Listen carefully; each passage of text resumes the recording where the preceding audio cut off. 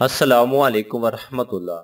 अगर आप अपने बच्चे को बदतमीज बनाना चाहते हैं तो उससे बदतमीज कहिए, वरना नहीं। अगर आप अपने बच्चे को निकम्मा बनाना चाहते हैं तो उसे निकम्मा कहिए, वरना नहीं। अगर आप अपने बच्चे को लोफर बनाना चाहते हैं तो उसे लोफर कहिए, वरना नहीं। अगर आप अपने बच्चे को आवारा बनाना चाहते हैं तो उसे आवारा कहिए, वरना नहीं। अगर आप अपने बच्चे को गबी और कुंज जैन बनाना चाहते हैं तो उसे गबी व कुंज जैन कहिए, वरना नहीं।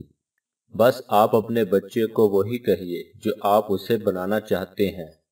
जैसे नेक, सहले, समझदार लाइक फाइक व अदब वगैरह वगैरह